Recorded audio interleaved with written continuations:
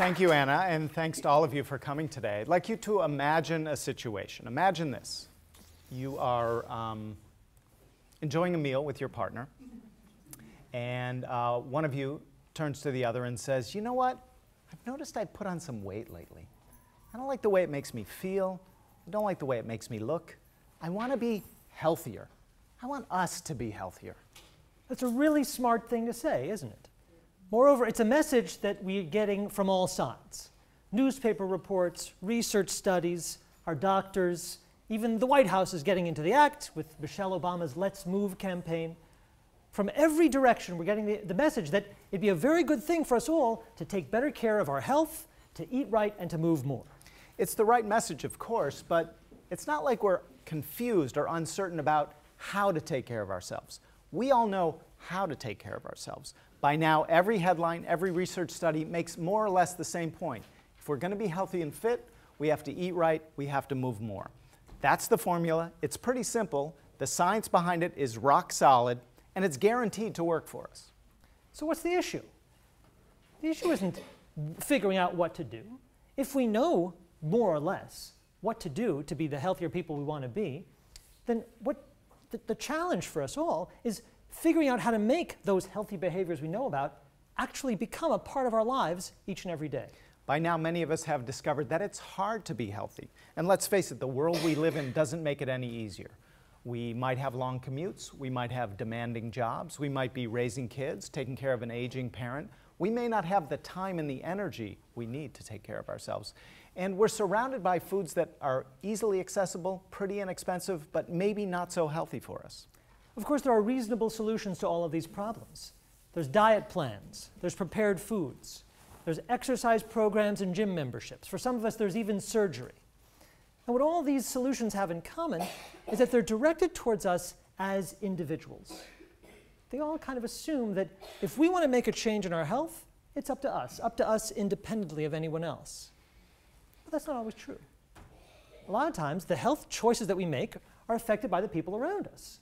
There might be somebody else in our lives, usually an intimate partner, who is, ha has a stake in the choices we make around our health. There's someone there who might be threatened if we want to change our appearance, who might be critical when we're trying to do something that's difficult for us, who might be resistant to paying for special foods, organic produce, or gym membership, or who might just be insistent on their right to bake delicious desserts each and every weekend you can see that all of the usual solutions that we typically hear about, virtually all of them, miss a crucial point. We can't separate our health from our relationships. We live social lives, and our health is a part of that life. We share a kitchen with somebody, we share a pantry with somebody, we eat meals with other people, we encourage or discourage one another from going to see a doctor. We have to schedule our exercise around our partner's exercise schedule. We all know that our health is part of our bodies, it's inside our bodies. But all of the habits that affect our health, all of the decisions that we're making that affect our health, those are a big part of our relationships. So when you're sitting with your partner and you say, you know what, I'm thinking I'd like to get healthier, I'd like to make a change, it couldn't be a smarter thing to do because you're talking to exactly the right person. There's nobody else who's more invested in your health aside from yourself. There's no one else who's in a better position to support you in making those health related choices. There's no one else who's actually there in the very moments where you're making those decisions about your health. Now, you're telling your partner, or maybe your partner's telling you, that it's time to get moving. It's time to solve this problem. This next part of your conversation, that turns out to be pretty crucial. You and your partner care for each other, you love each other, you support each other in all kinds of ways. Of course, you want to help each other. And you're motivated to help each other too, because this is your health you're talking about, and it's not going to get better by itself. So, what can we do? What can any of us do in that moment to give our partners the support they're going to need to make these difficult choices? What does effective support around health look like? And if we're the one that wants to make the change, how can we reach out to our partners and get from them the help we're going to need to move more and eat better and live healthier lives? A lot of people would say that uh, honesty is the right policy in relationships, right? That that's the way you communicate important things to your partner in a relationship. So let's say I'm the person who says, I'd like to lose a few pounds. I need to get exercising more. I need to start taking better care of myself. Maybe you could start with a little honesty. Yeah, you have gained a few pounds. I've noticed that too. Well, that sounds like the right thing to say, right? But it doesn't really have a supportive effect. It actually ends up sounding like criticism instead. Maybe you have to say something nicer to me, something a little more affirming or upbeat. I, maybe I need some reassurance. Honey, what are you talking about? You look beautiful. You look beautiful to me. There is no problem. It's nice to hear, right? Really nice to hear, but it totally ignores my issue, and it's certainly not going to motivate me to do anything. So I may need, need something tougher. I may need uh, a tough love approach. I need you to crack the whip. That's what I need. Okay, you're serious? Fine. Tomorrow morning, 6 a.m., we're going to go for a two mile run. Tonight, I'm going to go to our cupboards and throw out all the carbs into the freezer, throw out the ice cream. From here on in, it's going to be low fat diets and kale salad until we get this problem licked. Now, that could work, right? That is the kick in the seat of the pants that I would need to start doing the right things to take care of myself. But it sounds pretty harsh. It'd be hard to sustain. And even if I could sustain it, I might not like my partner at the end of it. So let me ask you raise your hand if in your own relationships, in your own homes, when you've heard, when you've tried to talk about health issues, you've heard any of these kind of statements in your own home. A fair, a fair number of you. Now, let me ask you a second question. Leave your hand up if you've heard those statements coming from your own mouth. I mean, ouch. The good news is you're not alone. In our research, we've seen countless couples say exactly those words and worse. And we've seen that look of panic when partners want to help each other and realize they're not quite sure how to respond.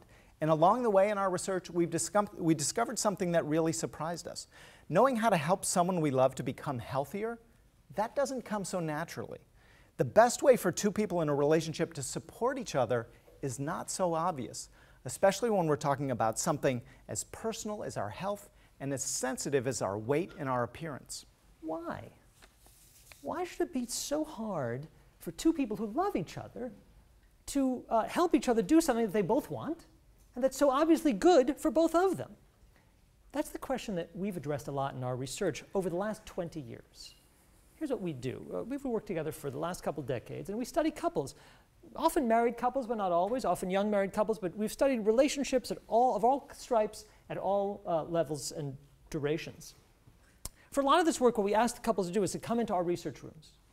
We give them a lot of questions while, we're with, while they're with us, but we also leave them alone to have interactions, to have uh, discussions that we record, but we're not there while they're having those discussions.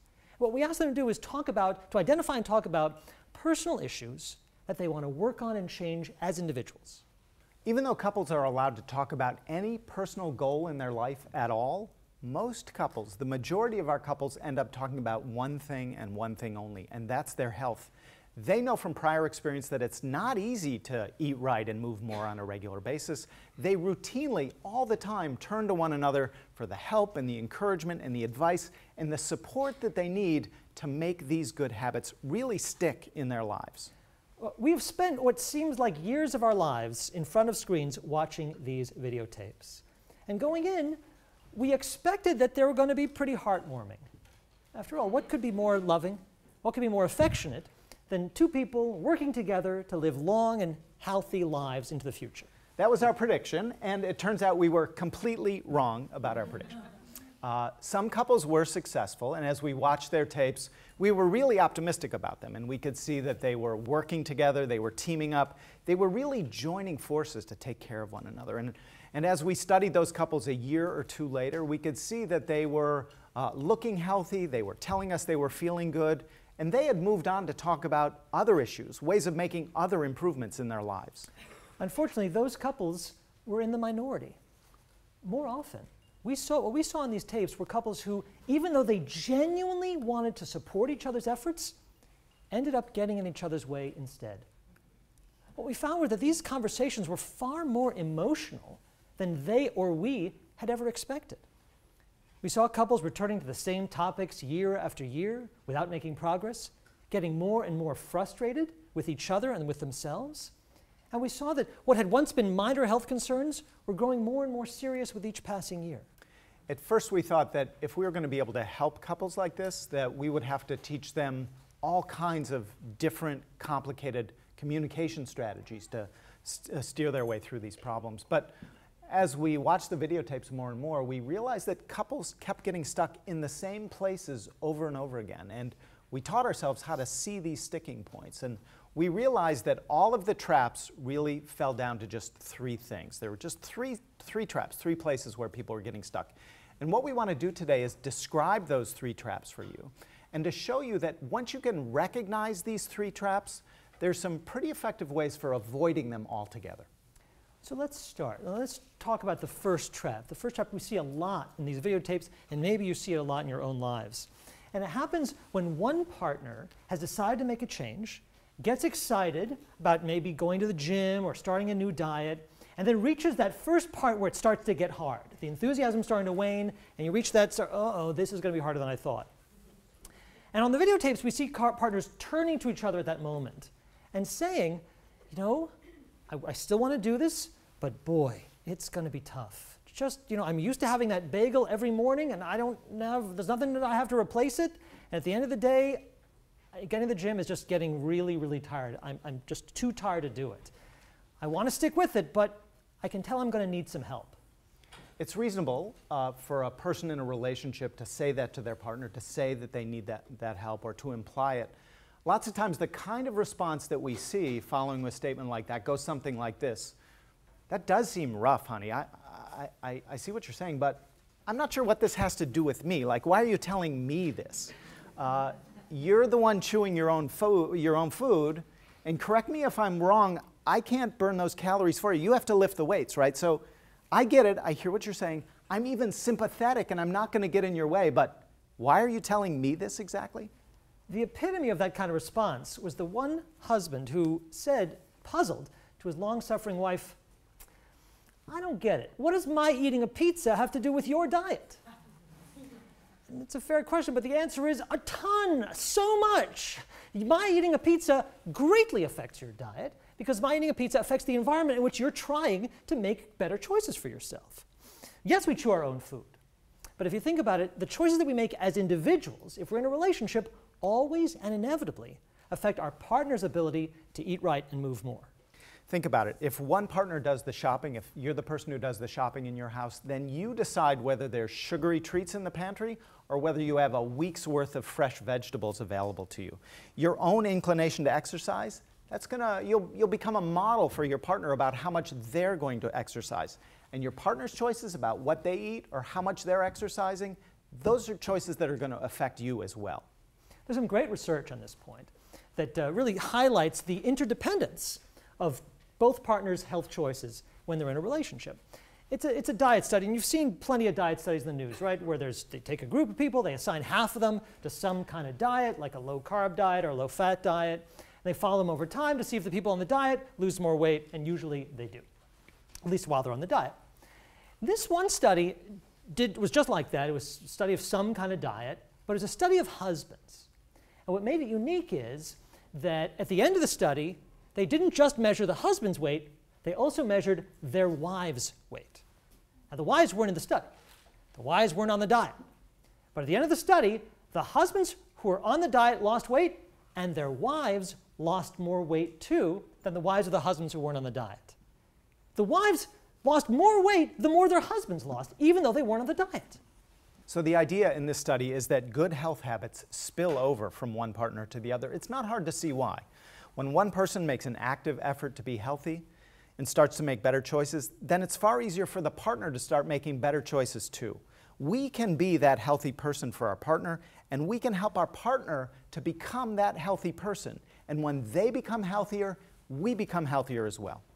So, what happens when couples recognize that they have an inevitable mutual influence over each other's health choices? One thing that becomes clear is that they can see that the small choice I make for, them, for myself, even the subtle, invisible decisions I make for myself, can have big effects on both of our abilities to lead healthier lives. In our tapes, we've seen lots of pretty good examples of this. So there was one woman who was finally feeling pretty good about her eating habits under control, but she was starting to realize that she needed to start exercising more. She needed to get moving, she needed to get on her feet, partly to maintain her uh, weight, main, uh, to maintain her weight, but also she wanted to burn off some stress after work. And uh, in, our, uh, in our lab, this was the first time that the husband had heard about this issue, and he said, honey, this isn't a hard problem. Let's do this. Monday, Wednesday, Friday, I take care of the kids, I give them a bath, you come home for, uh, uh, after work, spend an hour, spend 90 minutes, go straight to the gym, do whatever it is you need to do. I'll be with the kids. Things are fine. When you come home, everything will be set. Everything will be great. We'll embrace you with open arms. That's not a hard thing to do, right? It's a simple idea, but it builds on this idea that small changes reverberate in our relationships. Lots of times in situations like this, we see people say, well, just exercise more. I don't know what it is you like to do. Just do more of it. Or why don't you just bring your sneakers to work and just go walk around? Like, I don't get it. But this guy could see that he was uniquely positioned to help his wife and to create a space where she could get on her feet, get moving on a regular basis, help herself feel good about taking control over life, over her life, and everybody benefited in the process. So what if you want to get this kind of support, that kind of skillful support, but your partner is more like the guy who doesn't understand how his pizza affects your diet. Well, you have an opportunity to open your partner's eyes. A lot of times, our partners don't recognize, they just don't know about how they're influencing us. So we have a, a role to play in educating them and letting them know, actually, we are effective. Now, there's a constructive way to do this. So, for example, uh, here's uh, one of our, our spouses said this. Um, and this is a direct quote you know, I, I have trouble resisting cookies and chips. You know this. And I don't know if you know this, but those are like drugs in the pantry. Those are terrible. It's all I can do to resist eating those things. And when you eat them in front of me, oh my gosh, it's all I can do to not just grab the bag and start eating them myself. So if, if there's a way that we could solve this problem, I know you want to help me, but if there's a way that, I don't know, if you could just eat them somewhere else, that would be such a huge help to me. Ch check out that kind of statement. It's not a criticism. No one's being blamed there. It's a disclosure. It's inviting your partner and giving your partner more options to help you, a partner who might well want to help you. Uh, that's the kind of thing that can get your partner's creative juices running. A lot of times our partners just want to say, oh, I didn't know. But now that I know, yeah, of course. I can take that outside. There's no reason why I can still eat it, but I don't have to eat it in front of you. Those are the kind of perfect solutions that, might, that you create a space for them to spontaneously arise. So here's the point about our first trap. If you're in a relationship, you and your partner are affecting each other all the time. And smart couples know that healthy habits have a way of expanding in our relationships. Couples who take advantage of their mutual influence find all kinds of easy opportunities to make a big difference in each other's health. But they have to communicate what they need so that they can make those changes, even if they're small, make those healthy changes happen every day in their relationship. Let's move on to our second trap. And this is a trap we see all the time. And it happens when couples have been working perhaps or thinking about their health for a while and starting to get really frustrated. And what happens is that people get, uh, feel, start to feel a lot of emotional distress around their inability to make a health change. Uh, we see, even though our recordings are happening in our, our, own research labs, people are still very emotional on these tapes. And we see it. We see, see people very close to tears in a lot of cases. And when that happens, we hear things like this. Like, I'm going to quote you from one wife who she just had her second child. She's a stay at home mom. And she was feeling overwhelmed. And she said, I don't know what to do. I am looking at the scale every day and I'm seeing myself balloon. I don't want to become my mom. But I don't know how to help it because I, am so exhausted from the baby. I can barely get them food, let alone make myself another healthy meal. Getting to the gym, forget about it. I'm with the kids. I don't know where to put them. And I'm exhausted anyway. And so I'm just seeing myself get heavier and heavier, and I'm terrified that I'm going to end up like my sister. And you know what happened to her? So, unfortunately, the, the natural response to statements like that is to hear all of that overwhelming emotion, and the partner then tries to say things, usually through some kind of validation or reassurance, to make those feelings go away, right? To validate or reassure their partner. So, sometimes it sounds kind of sweet. Partners will say things like, um, honey, I, there's nothing to worry about here. Don't worry. I still think you look great and give it time. This will work out. I know you can get this under control. But lots of times we hear, because the emotions are so strong, uh, lots of times we hear people be strident. We heard one husband who uh, was scolding his wife. He said, You think you're overweight? That's just wrong. It's simply not true. Whether you see it or not, you're attractive. You have nothing to worry about. You can see the trap. Those kind of spouses are, are uh, well intentioned. They, they, they're moved by their partner's distress, and they want to erase that distress. They want it to go away, and they think that reassurance is the way to do it. Problem is, as you can kind of hear, the reassurance misses, misses the mark. And it misses the mark because it says your opinion about yourself, your concerns, your anxieties, they're invalid. Well, that's not actually that reassuring. What we need in those moments is actually two things. And that's, that, that's what people miss. What we need is, yes, encouragement that we're still loved, encouragement that we're still attractive. Sure, we do need that. But at the same time, when we express distress like that, we need encouragement for the healthy person that we're trying to become. Providing both of these kinds of support at the same time, that can be kind of tricky. There can be a tension between wanting to help our partner change while also wanting to accept our partner the way he or she is right now. But whenever our partner is trying to do something hard, like lose weight, we have to understand both of these needs at the exact same time. There's some pretty great research on this. Uh, we've contributed to some of it. Some of I told you a moment ago that what we did in our labs is we videotape couples having these conversations about health and weight. The next thing we do is we follow those couples over the first years of their marriage or over the subsequent years of their relationship. And one of the things that we do every time we study them is we measure their weight. So we can assess who, over the, the years of their relationship, are gaining weight, who's maintaining their weight, and who's losing it. And we can relate those changes back to the kind of behaviors that couples were engaging in when we first saw them. Here's the surprising part the couples that are the most reassuring, the most positive early on in the relationship, actually gain more weight over time.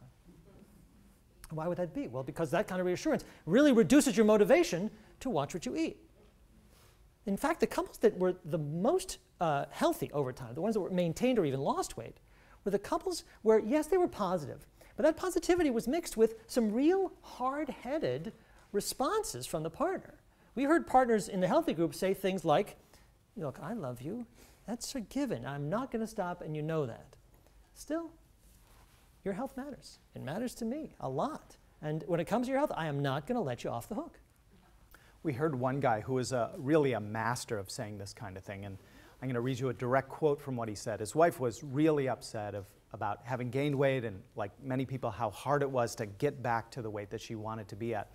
And see if you can hear both kinds of support in this quote that I'm, I'm going to read. He said, Baby, I hear what you're saying, and it breaks my heart to know that you see yourself that, that way. It breaks my heart when you look in the mirror, you can't see the same fantastically attractive woman that I see in the mirror, that I see sitting in front of me right now. But if you feel your weight is not where you want it to be, then we have to solve that problem. We, you and me, have to solve that problem. How do we move forward? Check out how that guy threads the needle. Does he say she's wrong about her feelings? No. He, but does he also doesn't agree with them either. So he's able to say in one sentence, yes, uh, I don't have the same opinion of you. I find you attractive, but the fact that you don't find yourself attractive, that's an independent problem, and it's still a problem that we can work on together. So, what if you want to be healthy and your partner isn't coming forth with all the support that you really need to make change? It seems obvious, but we need to communicate that to our partner, and we need to communicate that in a way that's not threatening. And specifically, what we need to communicate is that we need two kinds of support. We need to feel good and strong. People make changes not when they feel weak, but when they feel strong. We need our partners to feel strong so that they can make a change, but they also need motivation and encouragement so that they know that we know that they can make those changes. There's a way for us to kind of pull that out of our partners if we have to. And uh, you can say something uh, like this. You can say, it's very nice of you to say that you're attracted and that attracted to me still and that matters.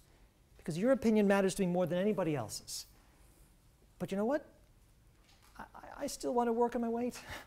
it's still something that matters to me. And it's still something I could really use your help doing. If you could help me to steer away from the pasta and steer towards the, the, the celery, uh, I'd appreciate that. So that's another way of threading this same needle. And it speaks to the bigger point that mutual understanding is crucial in our relationships. That's pretty obvious, but we're, when we're talking about sensitive issues like our health and our weight, there's a different kind of understanding that we need to achieve. And we need to help our partners feel good about who they are right now and also feel confident that they can make the changes that they need to make. There's a tension here, and we need to resolve that. And in order to do that, partners have to empathize with one another's needs And they need to communicate those needs really clearly.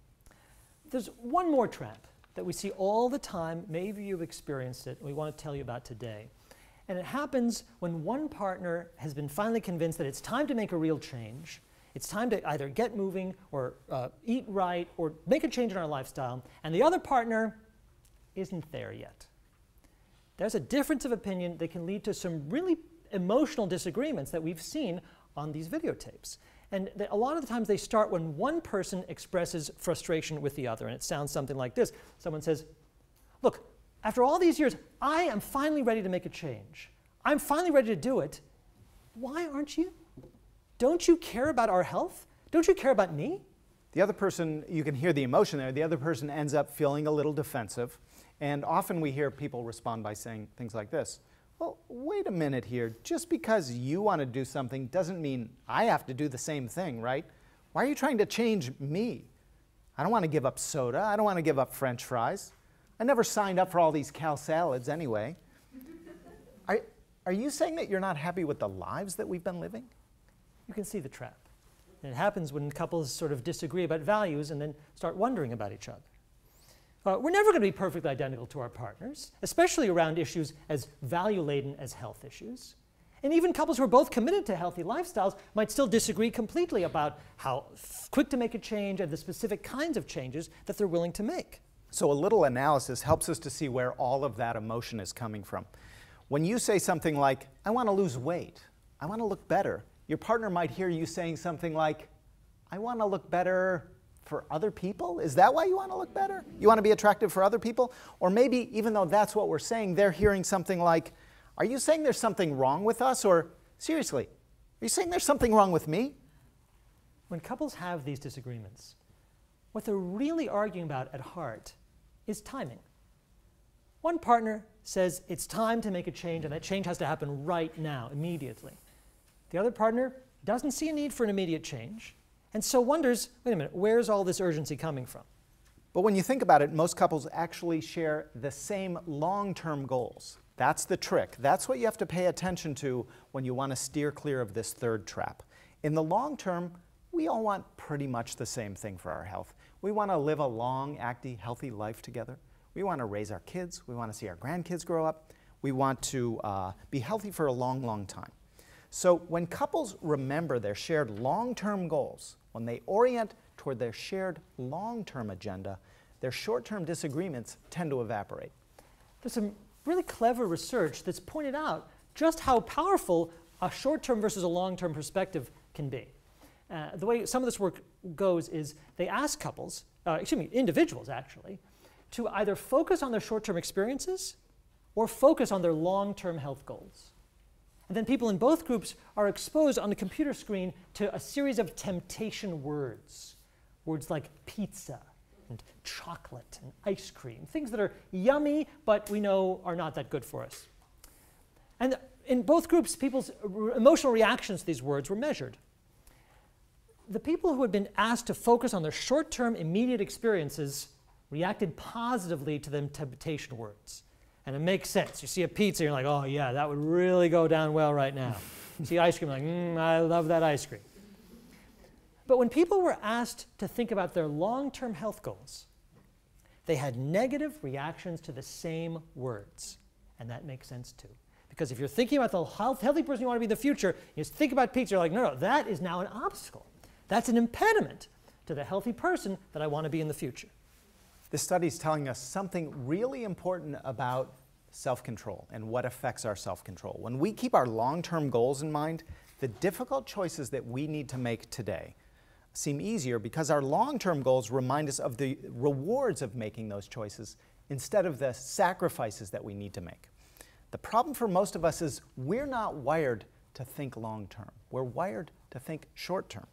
When junk food's in front of us, it's hard to keep our eyes on the prize because we always have our eyes on the fries. There's only one area of our lives where we naturally think long term. And surprise, surprise, it's our relationships. In what other domain of our lives do we think about growing old together and even welcome it? In what other area of our lives do we say, oh, till death do us part, and that's somehow a good thing? uh, our long term relationships activate our long term goals like nothing else. And that's something that smart couples can capitalize on to motivate healthy, even difficult choices in the present. So, this is the important pivot from short term thinking, immediate thinking, to long term thinking. We've seen a lot of good examples of this. We were watching one tape where the, um, the woman wanted uh, to cut down on uh, all the sodas she was drinking. And more than that, she really wanted her husband to cut back on all the sugary drinks he was drinking because he was drinking more than, than she was. And here's what she said. And you can see this, this uh, how you can avoid this trap. You can see exactly how she's doing it here. She said, I know you love your soda. I get that. And I agree that you look great and you're a healthy man right now. And that's great. But I'm not thinking about right now. I'm thinking about 10 or 20 years from now. And in 10, 10 or 20 years, I want us to be as healthy uh, then as we are right now. See what she does? That kind of partner frames a sacrifice not as a sacrifice, but as an, as an investment in a shared long term future. It's not a criticism, it's an invitation, it's an investment. Uh, she uses their long term commitment to each other to motivate short term changes that they can make today. So, what if you're the one who wants to get healthy and your partner seems to be dragging their feet a little bit, or maybe you're just genuinely concerned that your partner isn't taking really good care of themselves. As usual, blame and criticism are not going to be the way to go. Instead, you want to build on something that you already have in your relationship. Take advantage of the long term commitment that's already between you and your partner as a way of helping your partner to connect today's choices, the hard things they need to do today, with the healthier goals that are on the horizon for both of you. When in doubt, consider asking a question. It's always better than giving a command or a demand. So you could say something like this Well, I get it. I'm ready to make a change. I think that the time is now, and you're not. That's okay. But let me ask you how are you thinking about your long term health? I know you want to be there for our grandchildren. You want to be active and healthy into long, uh, uh, uh, healthy long, long-term old age. So what are you doing? What are you doing today to make that happen? The bottom line here is simple. Smart couples we see in our labs figure out a way to use their shared commitment to each other to a long term future together as a way of uniting around their immediate health choices, the choices that they're making today, which are much harder. So let's go back to where we started. Imagine once again that you and your partner sitting there on the couch, chomping away, and one of you turns to the other and says, I'm not happy with our lifestyle. Not happy with what we eat, not happy with our level of exercise, I'm not happy with how I look. I want to get healthier. Well, it's not a surprise that that issue is going to come up. And we know, we know what the steps are that would help us get to our goals. We know what we have to do. But putting that advice into action is uh, really painfully, even impossibly difficult for many of us to do on a regular basis. We hope that now you can see that there are strengths within our relationship, three key strengths in our relationship that once you tap into them, you and your partner can team up to overcome the obstacles that may be preventing you from reaching your health goals. We're not saying it's easy, that's not what we're saying. But we are saying that if you recognize three things, that if you and your partner can educate each other about your mutual influence, that steers you clear of that first trap. And if you can generate mutual understanding, so that uh, you're communicating with one another and you're deepening your mutual understanding of the challenges that you have and the, the support that you both need, that gets you out of the second trap. And if you dedicate yourself in the long term to the, to the, the goals that you have on the horizon, the immediate choices that you're making today somehow become a little easier. And when you do these th- three things, when you see the strengths that are invisible in all of our relationships, then all of that health advice that we are hearing about all the time can finally stick and uh, take hold in our daily lives. We'd like to leave you with one final observation. We've said to you through, for the last hour that a good, healthy relationship can be a springboard to uh, healthier bodies. Turns out that the reverse is also true. When we work on health in our relationship, the relationships get better as well. Uh, when couples recognize and take advantage of all the ways that their relationships can support their health, this is an almost inevitable side effect. The relationships get better and they stay better over time. So you can think about how that, that kind of thing might operate. When couples are expressing support for each other's health, they're showing concern for one another, for one another's health, and they're doing that in a sensitive and skillful way. They learn that they can depend on each other in ways that extend far beyond their health. When couples stay active, together, they're discovering new things about each other, they're finding new opportunities for excitement and growth. Is it any wonder that love, which is arguably the most powerful force in any of our lives, is it any wonder that love and affection would emerge as the most powerful hope that we have for changing our eating habits so that we're eating right, getting us to move more, and enabling us to live long, healthy lives? Thanks for your attention today. We appreciate your coming.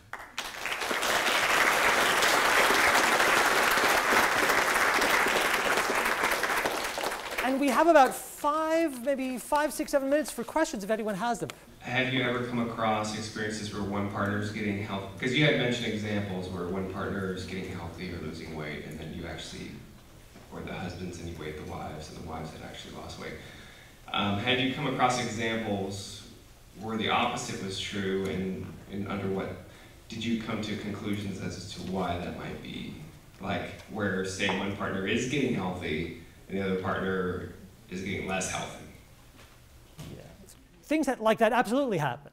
Uh, not quite as often, but they do happen. And one of the reasons, one of the things we've seen sometimes is that when one partner makes a change, it can be threatening to the other partner.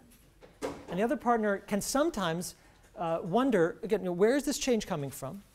And feel like it's not just that you're changing yourself, but you're sort of trying to change our lifestyle. And the result can be I'm going to now cling more tightly to that lifestyle. In fact, I want to prove a point, which is uh, I want you to now have to prove that you love me even if I'm not getting healthier, because I don't want to have to get healthy to keep your love. So you get those kind of power dynamics. We, we have seen that in tapes. The question is how to get out of it. The way to get out of it is for the partner who's making a health change to, there is an, a reassurance that's appropriate in the situation to say, hey, I want to get healthier not because I'm less satisfied with you, but because I'm less satisfied with me. And me getting healthier isn't a threat to you. And th that kind of reassurance can go a long way towards uh, diffusing that kind of tension. Well, my comment is my boyfriend recently encouraged me to step up my walk because I walk and we walk together. But he set up an application on my phone called Noom, N O O O M Walk. That way he can keep up with what I'm doing and I can keep up with what he's doing. He's been into this for a long time, but now I'm surpassing him with my steps. But he has encouraged me to pick it up. So what I'm doing now is I'm really picking it up. I'm not just stepping, I'm actually stepping. You are moving. So yeah, I'm really moving. So if anyone is interested in that, you can go to N-O-O-O-M walk and you can keep a tally of your own steps that you're doing per day. So that's a, And it's it called encourages you to get more and more and more each day, more steps in. So it's just. That's very exciting. And the, the special twist that you and your partner put on it is to take advantage of the synergy that exists in your relationship. All he said was, hey, try this. It works for me. You might like it too. Each day is very encouraging because I'm really stepping it up. Each day I'm getting more and more. And one day I had ten thousand. Wow. And I don't keep up with it. He'll just say, hey, do you know how many you did today? I say, no. And wow, I'm just really happy. That's right. That's fantastic. Good for you. And you can take advantage of it. That's really fantastic. Congratulations. That's really great. But you can see that wasn't a huge change, right? That wasn't a massive change. That was a simple suggestion. Check out this cell phone. Check out this app on my smartphone. This worked for me. Maybe it'll work for you. I can help I can help you figure out how to do that. And when that happens, he feels great, she feels great, and there is mutuality in that. They both end up sort of competing in the best possible way. In your studies, um, the couples that were getting healthy um, together, would they more often do things together or separate or a little bit of both? Was there a predominance one way or the other? Great question. Really great question. You, uh, I, what's great about it is it picks up directly on the previous comment, which lots of people uh, in our videotapes, lots of times we, there seems to be a subtle hint that we should be doing this the same way. We should be doing the same thing. Like if we have to exercise together, and that can sometimes be a barrier, often because schedules are difficult to mesh up and whatnot. But you just heard an example of somebody saying, we do totally separate, or we do the same thing at totally different times, but we can keep track of each other. So lots of times people um, think they need to do this together and often um, have trouble saying to their partner, look, I want to I wanna be separate from you. I want to do this in a way that's different from what you want to do, but I don't want that to be a threat to you. I still want you to feel good about that. So people have to work that out, but quite frequently we see people encouraging one another to go into different spheres and only occasionally maybe taking a walk together or doing some things together. There's a little difference between how couples negotiate togetherness versus independence around diet versus around exercise. Around exercise, it's, there's a lot uh, more space for people to say, you know what, I'm going to do some housework while you're exercising and then we'll trade off. Or I'll be with the kids while you're exercising. And we don't have to do the same things. Maybe I'll play basketball with friends while you do a class or treadmill at the gym. With diet, it's a little harder because we tend to eat socially. We tend to eat our meals together with somebody. So there we, get, uh, we see more uh, issues about really what are we going to eat for dinner. It's harder to make two meals than to have two different exercise programs at the gym. So for my husband and I, I think one of the biggest problems is when one of us gets really gung-ho about an idea and the other one is like, that's great for you, but I don't want to give up X, Y, Z. Um, and that for us, I think is the hardest, especially when like I have a protein bar that I love, it's a Luna bar, and I think it's pretty healthy, and he's like, it's so processed, you have to stop eating them, and it's not a matter of him, you know, not wanting in the house because it's tempting, because he doesn't even Yeah, like them. I see. It's just that, and then it just makes me go nuts. You know what I mean? Like, I don't know if this happens to anybody else, but it happens to me. Of course, it happens all the time. So did you see that in your research? And it's same thing when you were talking about working out. He loves to go on walks. I find them incredibly boring. I just, you know, I actually teach a dance class right in this room Yeah. at one o'clock today, Yeah. and then at twelve thirty on Thursday. So that's my exercise. Right, right, right. But I wouldn't get him in a dance class ever. Of course. So how did your the people that you researched find balance? The people that we researched, the ones that did find balance, first of all, it was hard won. These are not easy things to negotiate at all. And so the, the tightrope that they had to walk is the tightrope that you're walking, which is on one hand saying, I, I love that you care about my health. I love that you're invested in your own health. So that's all good. I want to protect that. Now, uh, the, the harder message to weave into that is, and it's okay that we do it differently. As long as we both do it, it's okay that we do it differently. And I can, I'm going to make compromises, which is I'm going to go with you on some of those deadly boring walks some, sometimes, but not always. And maybe I'm going to ask you to make compromises too. And so you recognize that there's a real tension there. But it sounds like you're applying a lot of skill towards you know, walking the tightrope. My question rolls back to the statistics you mentioned earlier, that if the um, husband goes on, loses weight, that the wife will lose more weight than the husband. No, no, excuse me, not more weight than the husband, but she'll lose, the more he loses weight, the more she loses weight. Is it true the reverse? Outstanding, good question. And my sense, Tom, correct me, is that it is less true in the reverse. It has been studied in both directions, and there is a gender difference where uh, when she loses weight, he is less, that uh, uh, husbands affect their wives more than wives affect their husbands. There, uh, I, I'm hesitant to speculate too much, but what I am aware of, at least in, in the literature, there's an idea that in some households, uh, husbands have more, their preferences have more, more say over what gets fed. So wives who are more responsible for food shopping and preparation uh, accommodate their husband's preferences more than husbands accommodate their wives' preferences. That's an average, may not be, always be true, but that does seem to be true occasionally. So if that were true, then when husbands say, oh, I'm not going on a diet, she's like, okay, fine, I'll go with you. But if she says, I'm not going on a diet, he's like, well, you're on your own. More. That's just, that's, those are broad generalizations, but if you ask, that's the explanation that's in there. I think we're out of time. Thank you so much for coming. Thank you.